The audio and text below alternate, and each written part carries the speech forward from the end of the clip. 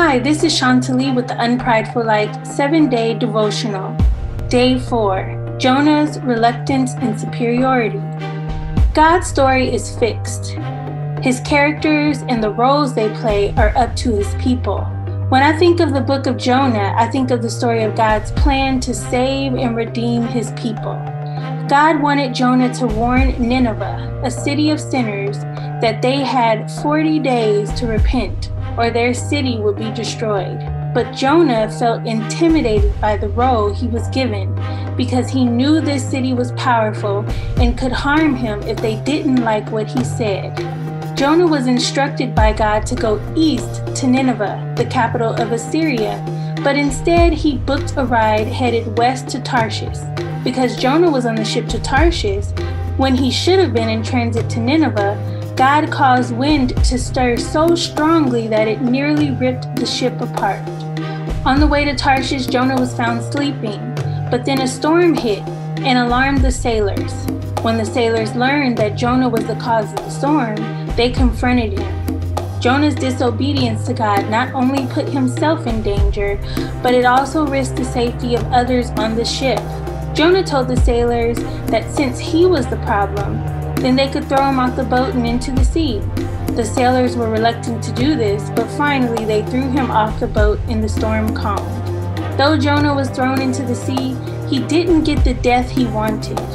Instead, he was swallowed by a big fish and was trapped inside its belly for three days.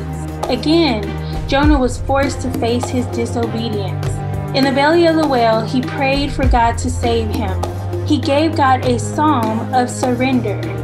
He said, I will fulfill what I have vowed. Salvation belongs to the Lord.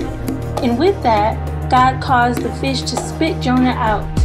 God saved Jonah and gave him a second chance to do his will. Finally, Jonah went to the city of Nineveh and spoke what the Lord told him to speak. The people actually listened and obeyed. But Jonah was unforgiving. He was upset that the Ninevites turned from their wicked ways and repented. Jonah felt like they deserved to die. He didn't think they were worthy of receiving God's grace. That quickly, Jonah had forgotten how God rescued him from the fish's stomach. That quickly, he forgot that he himself was a beneficiary of God's redemption and grace. The Bible says that we are to rejoice when a sinner repents. Jonah did not rejoice when the Ninevites turned to God but instead, he maintained that they were not worthy to receive God's mercy. He sheltered himself just outside the city of Nineveh to look at them from afar, hoping they'd fall in sin again. In our own righteousness, we can feel so timid to speak out against mighty people. We can also be judgmental against them and think that powerful sinners are not worthy of God's goodness. God doesn't desire for anyone to perish or live in sin. And if we want to banish our timidity, we must reflect this same passion in our hearts. In loving God and ourselves, we must love others enough to pray that they turn away from their sin. We are to pray for their repentance. And when they accept Jesus, we are to rejoice. Salvation belongs to God and is free for all who repent and receive Him.